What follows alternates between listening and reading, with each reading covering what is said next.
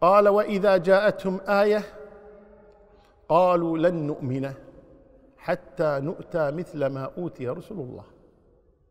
كبر. قال وقال لولا نزل هذا القرآن على رجل من القريتين عظيم. هم هم يريدون أن يحددوا من من الرسول وكذا بل يريد كل امرئ منهم أن يؤتى صحفا منشرة. لماذا لماذا محمد؟ لماذا ليس أنا؟ كل واحد يقول لماذا لست أنا الرسول حسدا كبرا عنادا مع أنهم يعرفون هذا الرسول صلى الله عليه وسلم. كانوا يسمونه الصادق الأمين. يعرفون بأمانته وصدقه وحسن خلقه يعلمونه يعرفونه حق المعرفة. صلوات ربي وسلامه عليه. ولكنهم يكابرون. حتى قيل نقل عن الوليد بن المغيره أنه قال للنبي صلى الله عليه وسلم لو كان الله سيرسل نبيا لاختارني أنا فأنا أكثر منك مالا. وأكبر منك سنا وأعظم منك جاها. يقول للنبي محمد صلى الله عليه وسلم فهم يعترضون لماذا محمد؟ وقد جاء عن أبي جهل يقول كنا نحن وبنو عبد مناف نتنازع الشرف أطعموا فأطعمنا وحملوا فحملنا حتى إذا تجاثينا على الركب وكنا كفرسي رهان. قالوا منا نبي.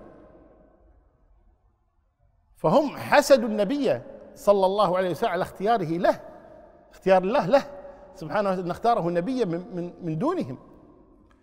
ولذا قالوا هنا وإذا جاءتهم آية قالوا لن نؤمن حتى نؤتى مثل ما أوتي رسول الله. النبي أيضا نحن نكون رسل. تأتينا معجزات. نحن تأتينا معجزات. الله أعلم حيث يجعل رسالته. الله هو الذي يختار. ما كان لهم الخير الخيرة. الله يخلق ما يشاء ويختار. هو الذي يختار سبحانه وتعالى ليس الناس. هم لا يقترحون على الله سبحانه وتعالى. وإذا قال الله جل وعلا هنا الله أعلم حيث يجعل رسالته. هو الذي يدري اين أين تكون الرسالة في من؟ الله هو الذي يختار لستم أنتم. ولذلك هم يعلمون صدق النبي لما خرج أبو سفيان إلى الشام ودخل على هرقل. وسأله هرقل عن النبي صلى الله عليه وسلم وكان أبو سفيان في ذلك الوقت زعيم الكفار. فلما دخل على هرقل قال له هرقل يعني سأله مجموعة من عشرة أسئلة سأله. فكان من ضمن أسئلته أنه قال له هل كنتم تتهمونه بالكذب قبل أن يقول ما قال؟ قال لا. قال ما كان ليترك الكذب على الناس ثم يكذب على الله. قال هل كان في آبائه من ملك؟ قال لا.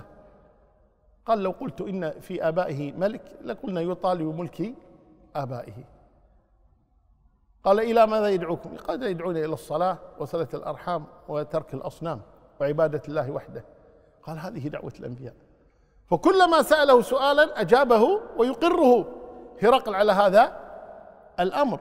فهم يعرفون صدق النبي صلى الله عليه وسلم. والنبي صلى الله عليه وسلم قد قال إن الله اصطفى كنانة من ولد إسماعيل. واصطفى قريشا من كنانة. واصطفى بني هاشم من قريش واصطفاني من بني هاشم. فالله هو الذي يختار سبحانه وتعالى. ولذلك قال الله تبارك وتعالى هنا الله أعلم حيث يجعل رسالته. هو الذي يختار سبحانه وتعالى واختار محمدا صلى الله عليه وسلم لرسالته. وجاء عن عبد الله بن مسعود قال إن الله نظر في قلوب العباد.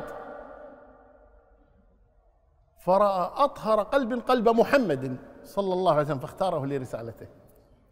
ثم نظر في قلوب العباد فرأى فرأى أطهر القلوب قلوب أصحابه فاختارهم لصحبته. فهو انتقاء واختيار من الله تبارك وتعالى. النبوة ليست كسبا ليست رياضة يتريض بها الإنسان ويجلس لوحده وكذا حتى يصير نبيا لا.